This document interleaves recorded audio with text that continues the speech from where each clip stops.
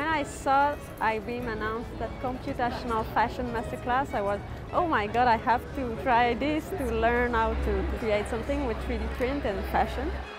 May-Li, Ben and I, we work on different reference, bringing ideas together. The three of us had a background in dance, so we agreed that, oh, let's do a tutu. From there, we wanted to be inspired by nature and from different reference, like the flocking of birds in the sky, like those clouds of birds. It's moving and it's very uh, poetic. And we start to body scan one of uh, our teammates. We kept that piece at the hip level on our scan and start to have branches growing from that part.